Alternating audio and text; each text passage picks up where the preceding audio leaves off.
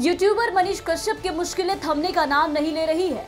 एक तरफ़ जहाँ बीते दिन ईओयू ने 24 घंटे के बाद जहाँ मनीष कश्यप को फिर से तीन दिन के रिमांड पर पूछताछ के लिए लिया, वहीं अब ईओयू के बाद अब तमिलनाडु पुलिस मनीष कश्यप को 15 दिन के रिमांड पर पूछताछ के लिए ले सकती है।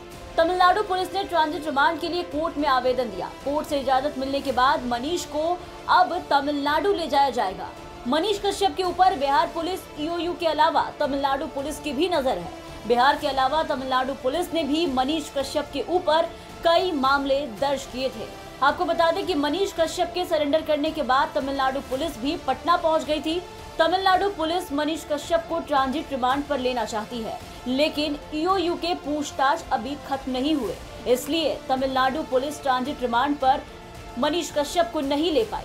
लेकिन मिली जानकारी के मुताबिक अब आने वाले सोमवार को तमिलनाडु पुलिस मनीष कश्यप को ट्रांजिट रिमांड पर लेने के लिए कोर्ट में अर्जी डालेगी। बता दें कि मनीष कश्यप इन दिनों ईओयू के रिमांड पर हैं, जहाँ ईओयू तमिलनाडु मामले पर उनसे पूछताछ कर रही है। लेकिन इस पूछताछ के दौरान मनीष कश्यप ईओयू को झूठी जानकारी दे रहा है।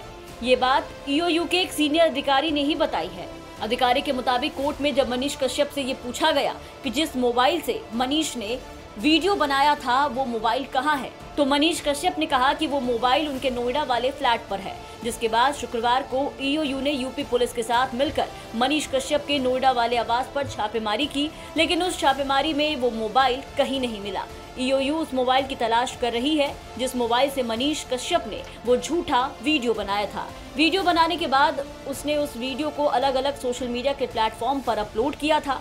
जानकारी के मुताबिक ईओयू ने मनीष कश्यप के द्वारा अपलोड किए गए वीडियो से जुड़े हुए कई सबूत तो जुटा लिए, लेकिन डिजिटल सबूत को और ज़्यादा मज़बूत करने के लिए उस मोबाइल का मिलना ज़रूरी है, जिसको लेकर के पुलिस लगातार मनीष कश्यप से पूछताछ कर रही है और मोबाइल के लिए तलाशी भी जारी है। मनीष कश्यप के ऊपर बिहार पुलिस ईओयू के अलावा तमिलनाडु पुलिस की भी नज़र है। बिहार के अलावा तमिलनाडु पुलिस ने भी मनीष कश्यप के ऊपर कई मामले दर्ज किए थे और अब मनीष कश्यप के सरेंडर करने के बाद तमिलनाडु पुलिस पटना भी पहुँच गई थी।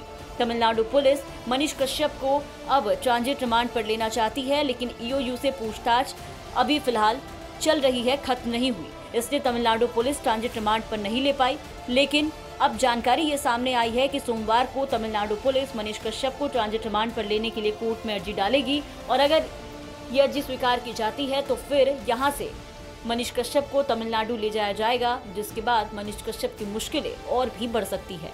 ब्यूरो रिपोर्ट बिहार तक।